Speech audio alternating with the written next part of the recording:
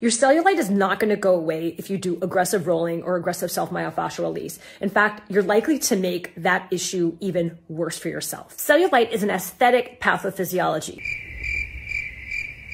So first of all, if you do aggressive rolling or aggressive myofascial release. So I think a lot of times there's this misperception about fascia blasting that it is aggressive. So the first thing that I want to say is that you are the person using the device and so you are the one that actually controls how hard or how deep that you go. But I know my messaging over the years has always been light and brisk, light and brisk, light and brisk risk.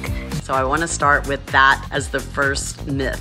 So then the second thing I want to address is that the woman in the video says that you're likely to make this issue, meaning cellulite, even worse for yourself. I don't have any research on foam rollers or wood tool rollers or anything that rolls, but fascia blasters don't roll. They are actually designed to penetrate down into the tissue around those individual muscle fibers, creating load, stretch, and shear, which is what we actually need to remodel the tissue, not damage the tissue. I just want to pop up some ultrasound images from our study. We really went in to see what is happening to the fascia tissue below what we see at the surface and we're calling cellulite.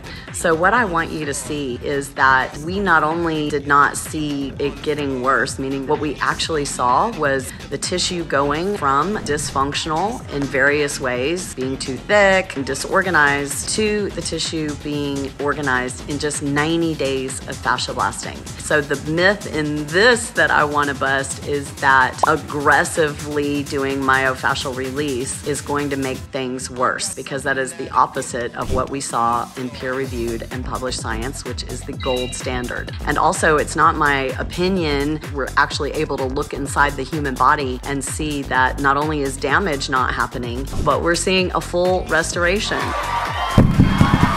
I just think it's super important that we are getting our information from science and not making judgments on things before we really understand them. So for me, this is a myth completely busted.